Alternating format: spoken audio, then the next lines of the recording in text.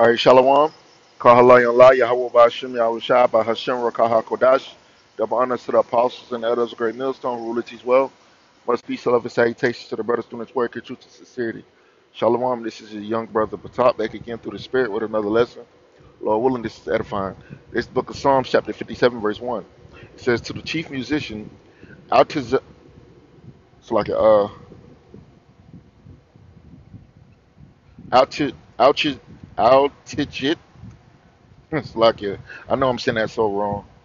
Mitam of David, it says, when he fled from Saul in the cave, it says, Be merciful unto me, O power, be merciful unto me, for my soul trusted in thee. Yea, in the shadow of thy wings will I make my refuge until these calamities be overpassed. So you got to think about the situation that King David was in when he, you know, was basically saying this, singing this psalm, this prayer to the Lord. You know, you got to think about the situation. You know, he had fled from Saul, which ultimately, most likely, Saul tried to kill him. So we're going to be in situations in these last days that people are going to desire uh, to have our heads. You know, they're going to desire to kill us, man. But we got to trust in the shadow of Yahweh Shemel Shah. You know, uh, whatever um, situation that we find ourselves in, you know, we gotta we gotta uh, always be circumspect of everything, but most importantly, we gotta trust in the Lord. You know what I'm saying? Don't and you can't trust. The scripture says, "Curses he that put his confidence in man." Man, make flesh. Let me see. Uh, let me get that real quick.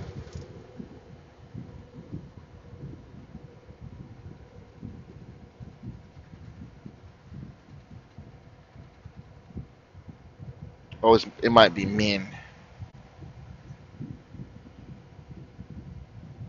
Oh, slot. I'm spelling something wrong.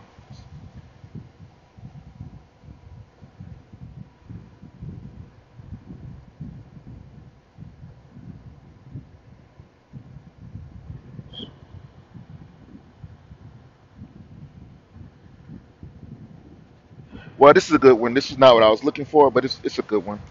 The good book of Proverbs 25 and 19.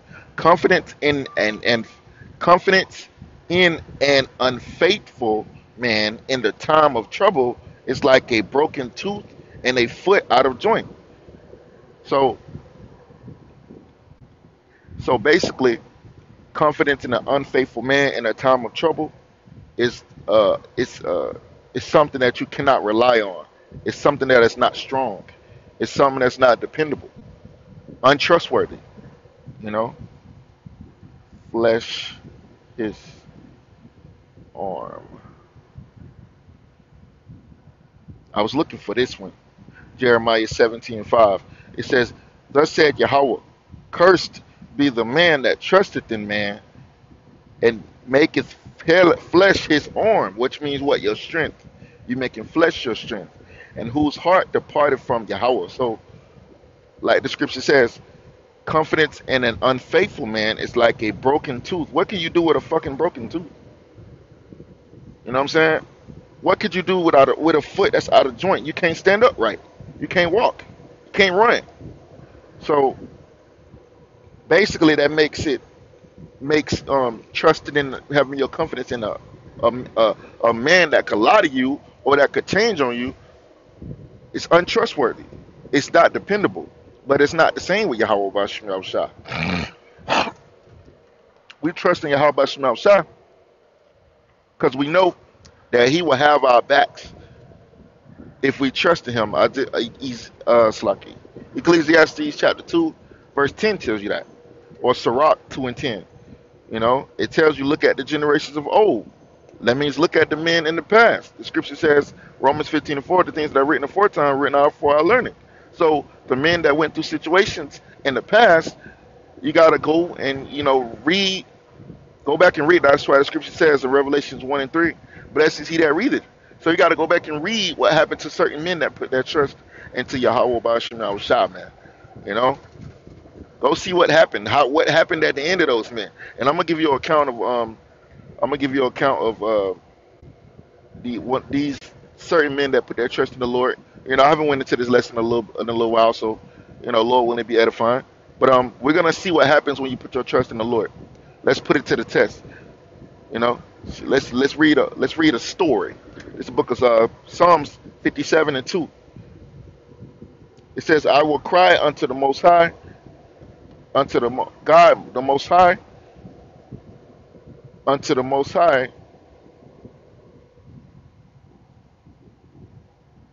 that performeth all things for me." So we gotta cry to Yahweh by Shemal Shah, because He can do what, whatever. The Lord can do everything or anything, and that's why we can't put no limit on Yahweh by Shemal Shah, like like Ronald Dalton, that idiot. You know what I'm saying? uh, that un- that unlearned man that really don't have faith in Yahweh Bashim Shah, and he's denying the power of the scriptures, or and he's denying the power of the Lord. We cannot limit the power of the Lord. Uh, let me see. Limit. Because you can't put no limits on the Lord's power. Psalms 78 and 41, it says, Yea, they turned back and tempted the Most High and limited the Holy One of Israel.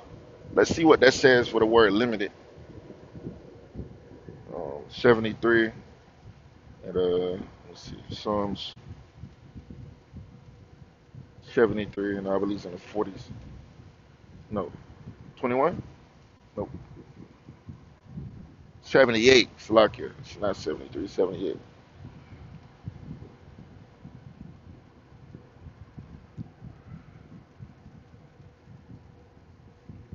Let's look at that word limited.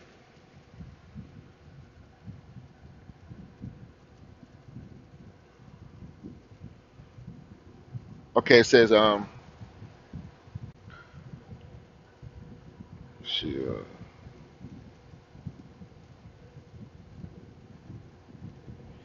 okay, it says to pain, wound, trouble, cause pain, meaning pain, meaning.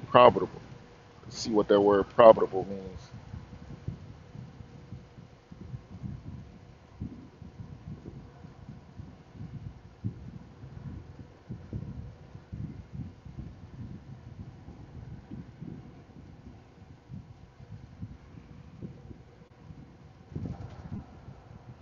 Looking for something that's in a different context. Let me see, see what the etymology of that was. See, do a similar idea for scraping to pieces to grieve, limit, confusion,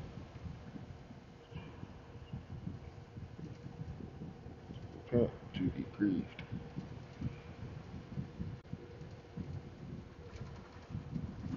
Okay, here it is. This is the this is the word I'm looking for. Okay, to scribble, to limit, to mark, make or set a mark. So you're basically, you know, you're marking the you're you're basically putting a, a limit to Yahweh Bashim Shah's power to imprint.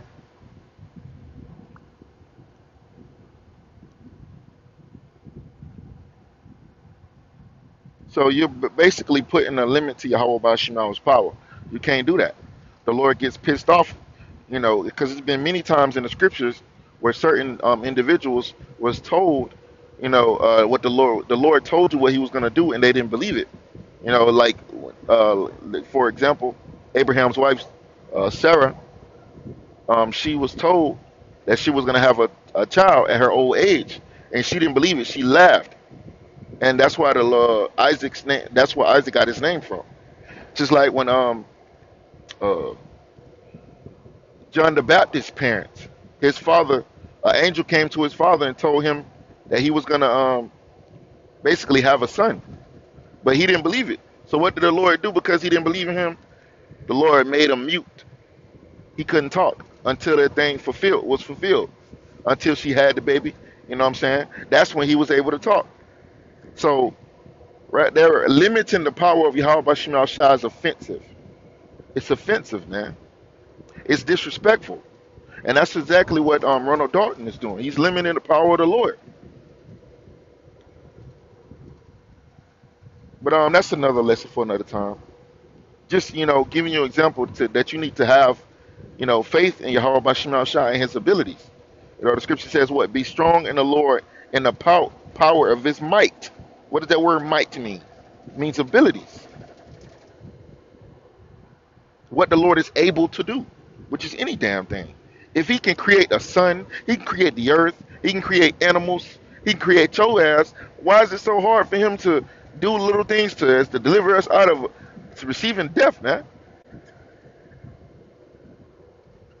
Um, I was gonna go to Ephesians. Ephesians 6 and 11, 6 and 10. It says, Finally, my brethren, be strong in Yahweh and in the power of his might. So, in the power of his might is what he's able to do, his abilities. We believe in that. We believe in what the Lord is able to do. If he can create all of these things that exist, from the animals to the earth to, you know, create something like Leviathan, you know, if the Lord can create these things, how hard is it for him to do something as simple as deliver your ass from death, man? He has done it before. He has delivered men from death before. So it's hard for the Lord to do these things? No, it's not hard for him to do these things. Psalms chapter 57, verse 3 says, He, he shall send from heaven and save me from the reproach of him that would swallow me up. Selah, the Most High shall send forth his mercy and his truth.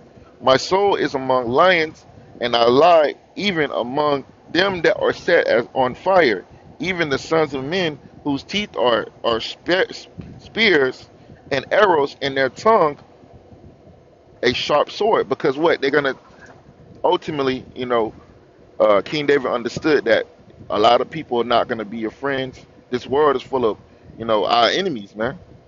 You know, and and they're not to hesitate. It's not they're not to hesitate to turn upon you and, and do harm to you, because that's the nature of nature of some of these people, especially in a time of trouble. In the time that everybody's going to be turning their backs on each other, and the, the scripture says what the love of many shall wax cold. So so it's really gonna be dog. It's it's it's already a dog eat dog world, but it's gonna even be worse in that time, man. That's why it says Daniel chapter twelve, a time like never before.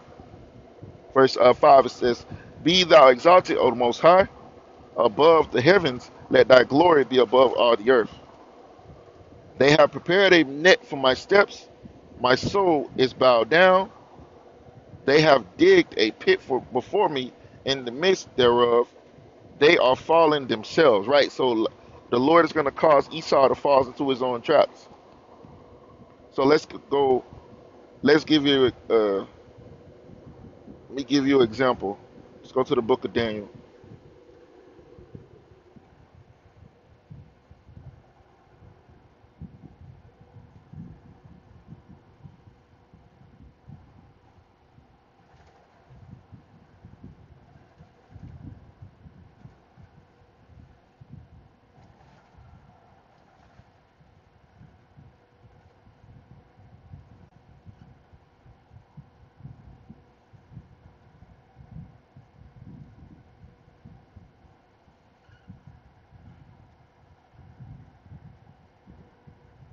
This is uh the book of Daniel, chapter three,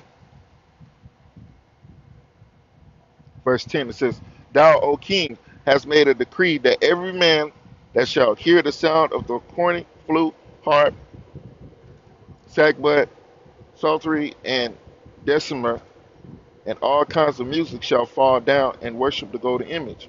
And whoso falleth not down and worship it, that he should be cast into the midst of a burning fiery furnace. And it's the same the same rules apply today. If you don't want to get down with Esau's MOTB system, you're gonna be what? Put to death. Verse uh, verse 12 says, There there are certain Jews whom thou hast set over the affairs of the provinces of Babylon, Shadrach, Meshach, and Abednego. These men, O king, have not regarded thee. They serve not thy gods, nor worship the golden image which thou hast set up. Then Nebuchadnezzar, in his rage and fury, commanded to bring Shadrach, Meshach, and Abednego. Then they brought these men before the king. Nebuchadnezzar spake and said unto them, Is it true, O Shadrach, Meshach, and Abednego? Do ye not serve my power, my gods, nor worship the golden image which I have set up? Now, if ye be ready, that at that that at what time ye hear the sound of the cornet, flute, harp, sackbut, psaltery, and dulcimer, and all kinds of music, ye fall down and worship the image which I have made. Well, if ye would not, ye shall be cast the same hour into the midst of a burning fiery furnace. And who is that God that shall deliver you out of my hand? See, he got proud. He got proud. Nebuchadnezzar got proud against the Shah, Shah, and that's one of the main reasons why the Lord turned him to a beast because he Nebuchadnezzar got proud. He humbled his ass, man. Made him. He turned him into a beast and made him eat and made him eat uh uh cattle. Oh, it's not not cattle. It said the scripture says he ate. He was gonna eat grass like a cattle. So the Lord turned him to a made him go reduced him down to a beast like state. You know, verse just because he got proud. The Lord had to put him in his place, and that's exactly what the Lord has done has done to Esau. Had did Esau at some point in time, but now Esau's back in power, and the Lord is going to bring him down back to his lower estate once again. Verse 16 it says, Shadrach, Meshach, and Abednego answered and said to the king, O Nebuchadnezzar, we are not care we are not careful to answer thee in this matter. If if it is if it be so, our power, who we whom we serve, which is Yahweh by Hashem Yahweh is the name of the Father, Yahweh Shah is the name of the true Son, is able to deliver us from the burning fiery furnace, and he will deliver us out of thine hand, O King. So they what? They what did they show at that? They showed courage, you know, against adversity. They stood up against a, a, a great, powerful king that was able to put you to death. And then and the same shit applies in a time of that we're living in now. Esau is that king, and he has the he has the means, he has the power to do, put put you to uh, put you to death, put you in jail. He can do whatever you want to do, man. Because Esau is stronger than us. But guess what? Yahweh Bashim Shah is stronger than him. So we got we got a we got a trump card on this devil, man. It says uh, verse 18. It says, "But if not, so they was, but even though they made it clear that even the Lord delivered them or not, they were still not gonna do it. But if not, be it known unto thee, O King, that we will not serve thy gods, nor worship the golden image that thou hast set up."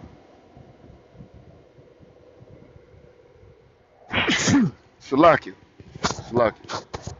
Um, so basically, when um after they said that, you know Nebuchadnezzar felt disrespected, man. He felt, you know, he's a king, and everybody reverences the king. Everybody do does what the king says. Nobody talks back to the king. The king does not supposedly tolerate disrespect or back sins or you not doing what he says. So everybody always does what the king says, but they stood up they showed some courage against the king. And you know how the king felt after that. Verse 19 it says, Then was Nebuchadnezzar full of fury, and the form of his visual was changed. Because these are men that had certain type of uh, position in Babylon. So he expected them to do to set this so-called set the example for everybody else. But they stood stiffly in the name of Yahweh Shemel Shah. it says, um, I'm gonna start at verse 19 again at the top. It says, Then was Nebuchadnezzar's full of fury, and the form of his visuals, vis, visage was changed against Shadrach and Meshach and Abednego. Therefore he spake and commanded, and commanded, Slack, very one second. Says, uh, therefore he spake and commanded that they should heat the furnace one seven times more than it was was want to be heated. So they they made sure that the um the furnace was as hot as it can be. Verse 20 it says, and he commanded the mighty angel. That's lucky. I'm tripping. It says, and he commanded the most mighty men that were in his army to bind Shadrach, Meshach, and Abednego and cast them into the fiery, burning fiery furnace. Then these men were bound in their coats, their hosen, and their hats, so- and their other garments, and were cast into the midst of the burning fiery furnace. Therefore, because the king's commandment was urgent, and the furnace exceeding hot, the flames of the fire slew these th- those men that took up Shadrach, Meshach, and Abednego. So um, the fire, it was the, the, the furnace was so hot that it even killed it even killed the, uh, the guys that threw them in there. That's how hot the furnace was, man. It says, therefore, because the king, well, yeah, verse 23, and these three and these three men, Shadrach, Meshach, and Abednego, fell down bound into the midst of the burning fiery furnace. So they was they was tied up, you know, so they couldn't, you know, so they couldn't escape. It says, then Nebuchadnezzar the king was astonished, astonished,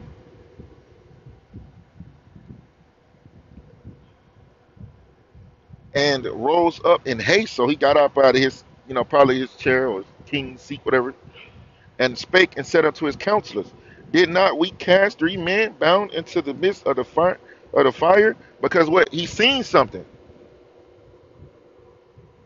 Nebuchadnezzar, he seen something. What did he see? It's so he's it it, it scared it, it it surprised him. He was in shock. It says, They answered and said unto the king, True, O king. It says he answered and said, Lo, I he said, Look, I see four men loose, walking in the midst of the fire, and they have no hurt, and the form of the fourth is like the Son of the Most High. So what does that mean? That means that the Lord saved them from that fire.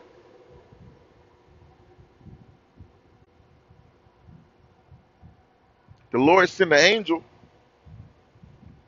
to deliver them out of that fire.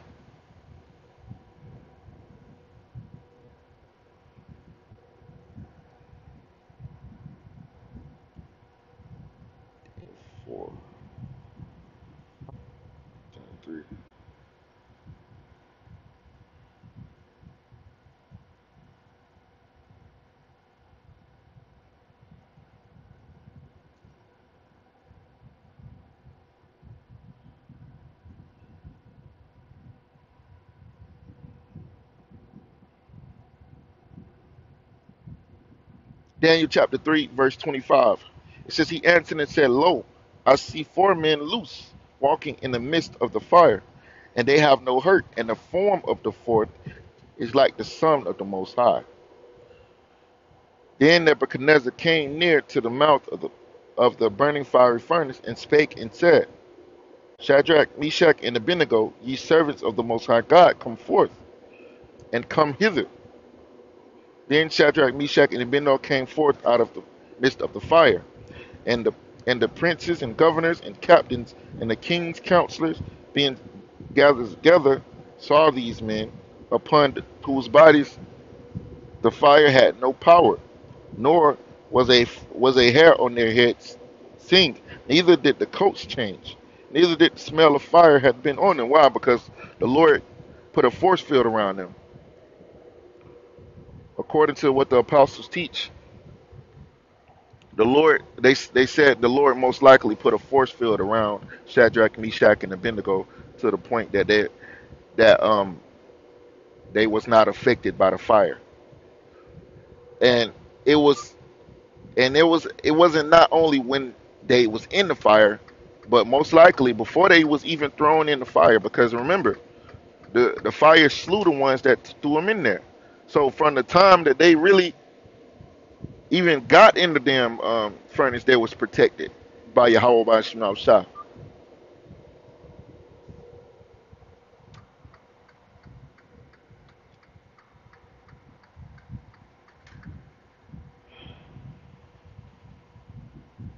And Yahweh Shah is gonna save his elect. I'm not, if I'm not mistaken, Shlakia, uh, it says son of the Most High.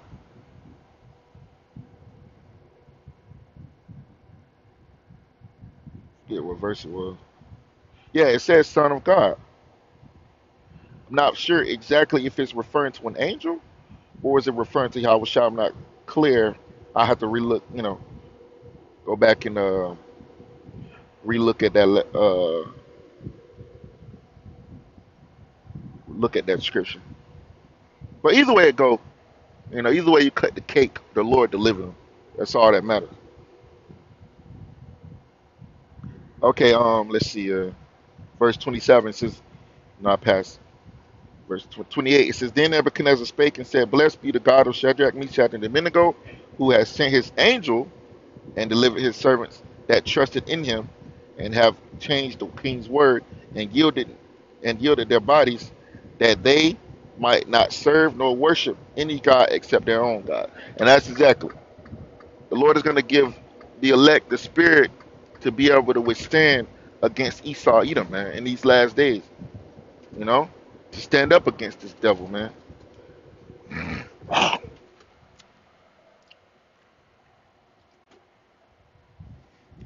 So, uh, let's see. What I was gonna get? I was gonna get something. Oh yeah. Okay. It was also written about in the Apocrypha. All you gotta do is go to the uh, the three holy children. Where, where, where is it? At? Oh man, the prayer of Emma. Nope. The letter of Jeremiah. No, it's not that. It's supposed to be the three holy children. It's not on this app. Damn. I got Ed first, Edges second, Edges Tobit, Judith, additions to Esther. Let's see, is it just additions to Esther? Uh, might not. Nah, it's not additions to Esther. It's on Solomon, letter to Jeremiah, prayer. Nope, not that. Okay. Um, apparently it doesn't have it on here. I thought I thought this app had the the three holy children. I was gonna go into that, but uh, this story right here, Bell and the Dragon, is referring to what happened to Daniel in the lion's den. Hold on.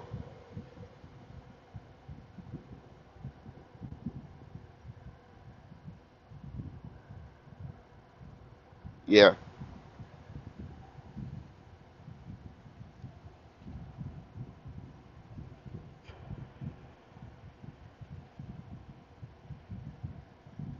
let's see. Let's go to it.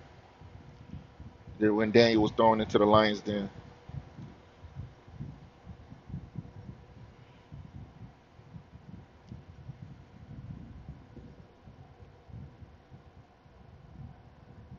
This is the book of uh, Daniel, chapter 6, verse 6. It says, It pleased Darius to set over the kingdom an hundred and twenty provinces, which should be over the whole kingdom, and over these three presidents, of whom Daniel was first, that the, pe- the, that the princes might give account unto him, and the king should have no damage. Then this Daniel was preferred above the presidents and princes because an excellent spirit was within him, and the king thought to set him over the whole realm. Then the presidents, see, let me get to the point.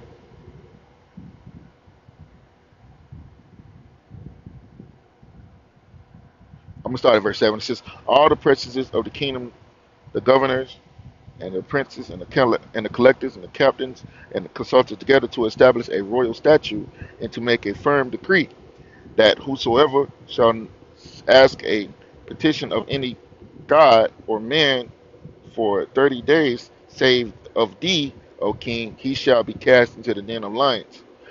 Now, O king, establish the decree and sign the writing that it be not changed according to the law of the Mede and the Persians, which alter not.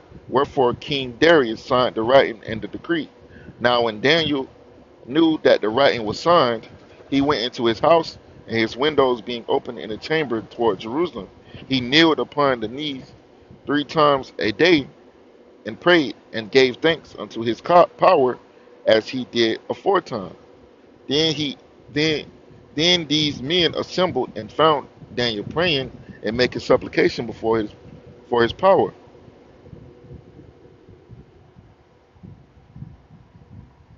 Then they came near and spake before the king concerning the king's decree. Hast thou not signed a decree that every man that shall ask a petition of any power or man within thirty days, save thee, O king, shall be cast to the den of lions? Then the king answered and said, This thing is true, according to the law of the Medes and the Persians, which alter not. Then answered they and said before the king that Daniel, which is the children of the cap- captivity of Judah, regardeth not thee, O king, nor the decree that thou hast signed, but maketh a petition three times a day. Then the king, when he heard these these words, was sore displeased with himself, and set his and set his heart on Daniel to deliver him, and he labored till the going down of the sun to deliver him. Right, because uh, even even within the situation, I believe, if I'm not mistaken, King Darius, he liked that. He liked Daniel. You know what I'm saying? He was well pleased with uh with Daniel, and he didn't want to do per se. He didn't want to do. Uh, he didn't want to cast him to the lions den. Verse 14 again. Then the king, when he heard these things, was sore displeased with himself, and set his heart on Daniel to deliver him. Right. So he wanted to try to get Daniel out of the situation. It says, and he labored till the going down of the sun to deliver him. Then these men assembled unto the king and said unto the king, King, king know, O king, that the law of the Medes and the Persians is that no decree nor statute which the king established may be changed. Then the king commanded, and they brought Daniel and cast him into the den of lions. Now the king spake and said unto Daniel, Thy power, whom thou servest continually, he will deliver thee. And a stone and a stone was brought and and laid upon the mouth of the den. So they tried. They wanted, oh, intentionally, you know, what I'm saying, lock him in there so he can't get out. Of course, you know, it's very clear that they wanted to lock him in there. They wanted to lock him in there so he cannot escape. But we're gonna see what exactly happens when you have faith in Yahweh Bashim Shah. And he trusted in him, man. So we're gonna see what happens. Uh verse 17 again says, And a stone was brought and laid upon the mouth of the den, and the king sealed it with his own seal, signet, like it, and with the signet of his lords, that the that the purpose might not change concerning Dan, Daniel.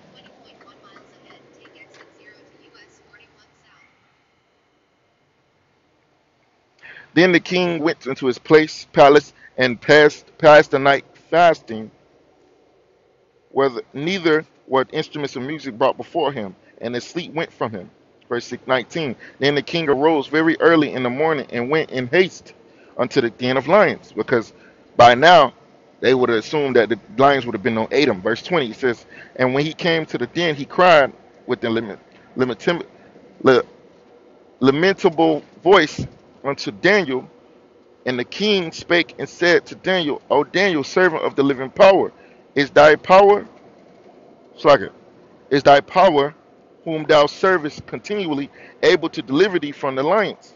Then Daniel then said Daniel unto the king, O king, live forever. My power have sent his angel and have shut the mouths, shut the lions' mouths, that they have not hurt me, for as much as before him innocency in innocency was found in me, and also before thee, O king, have I done no hurt.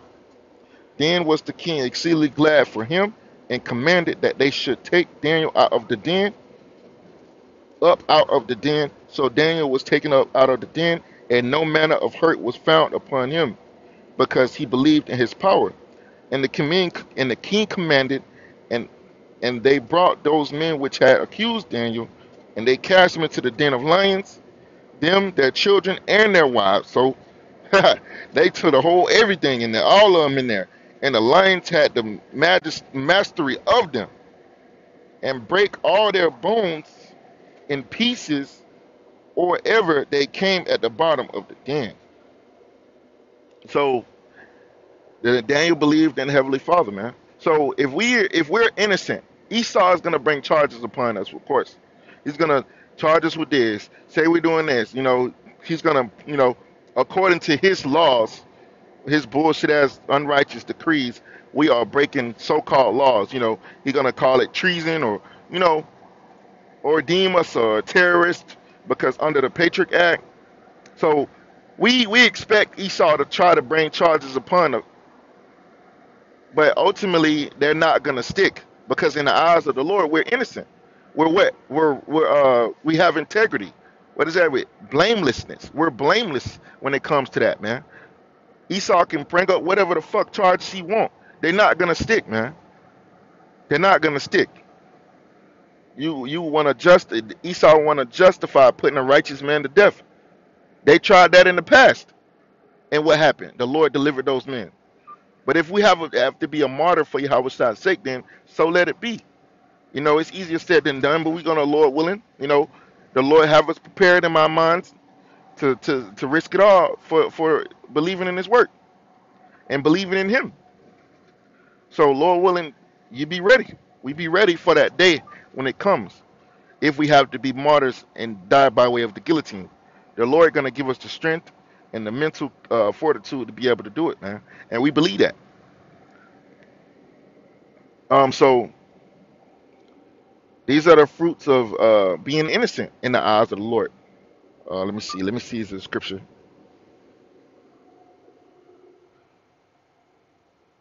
Let me see.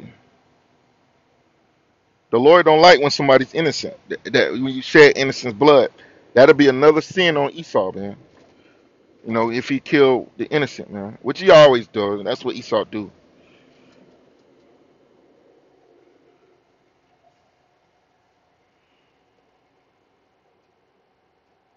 Ooh, that's a good precept. This is uh Deuteronomy 27 and 25. Cursed be he that takes reward to slay an innocent man, innocent person, and all the people shall say amen. So the Lord don't like that.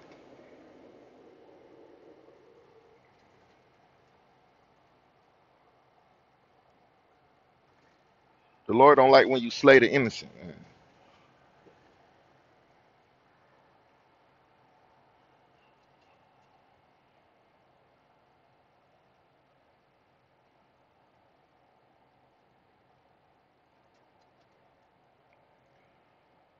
Said Job 17 and 8 says, Upright man shall be astonished at this, sunny at this, and the innocent shall stir up himself against the hypocrite. And who is the innocent? The righteous.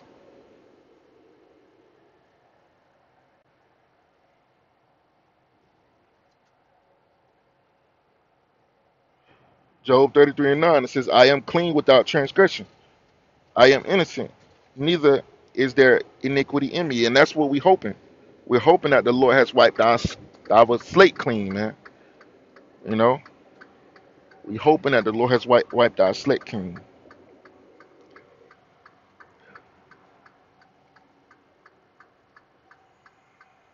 Um, let's see.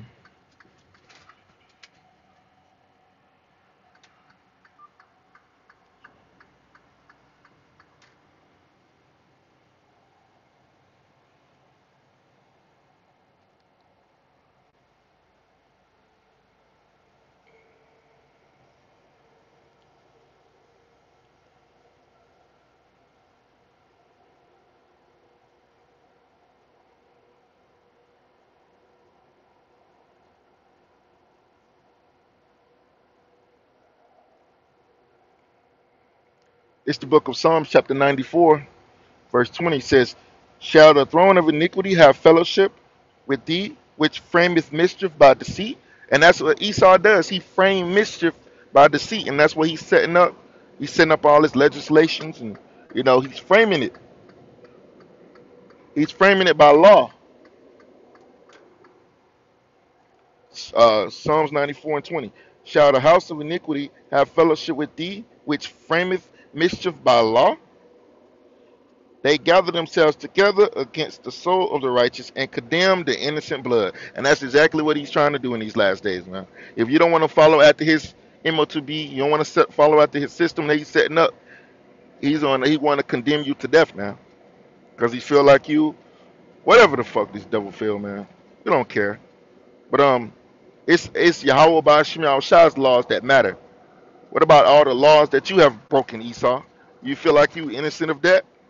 No, you're worthy of des- judgment from Yahweh by Shemiah Shah because of uh, because of all the laws you broke. But you want to charge somebody and call call him a terrorist, call him treason, charge him with treason, all kinds of bullshit. Because you know what the scriptures speak about you? You're, you're nothing but a hypocrite, and that's and that, and we have identified you as being a hypocrite of the earth, man. But um, Sulaki, I know this lesson was a little long. You know, I just want to get to these points about Daniel and the lion's den. You know, and uh, Shadrach, Meshach, Meshach, and Abednego, which are the Babylonian names. Um, they have Hebrew names, but um, uh, Lord willing, man, this lesson was edified, edifying. I haven't went into these, you know, topics of conversation for a while, but as you can see, man, they trust in the Lord, and what happened? Let's close it out with this. I know I quoted it earlier. I'm gonna get it. I'm gonna get this close out. Romans 15 and 4 says, that, "For whatsoever things were written aforetime were written for our learning, that we, through patience and comfort of the Scriptures, might have hope." And who and where our hope lies at in Yahweh Bashim Shah. So we believe these Scriptures cold-heartedly. You know what I'm saying? To the Lord willing, to the death of us, we believe these Scriptures. You know, because these Scriptures are our only testimony, man. It's our only, our only witness. It's our only evidence, man. These what what is what is said in these scriptures is our only uh uh is our um breeding grounds. Our uh what's the word I'm looking for? Our foundation. The scriptures is our foundation, man. We're that uh, the scriptures is that rock, and that rock is who? Yahweh. Yahweh Shai is our rock because Yahweh Shai is the word. So with that, man, Lord, will you best edify with this lesson? I'm gonna close out. You for being, you know, if I'm rambling or being too long. So I'm gonna close out by saying, giving all praises and glory to Yahweh by Hashem, Yahweh Shai by Hashem, Rakah Hakodash. Double honors to the apostles and elders, great millstone, who rule and teach well amongst peace, love, and salutation to the brothers and his work, and truth and sincerity. Want to say Shalom, Kum Yasha Allah, Wa Abad Babar, Wa Abad Adawam, Shalom.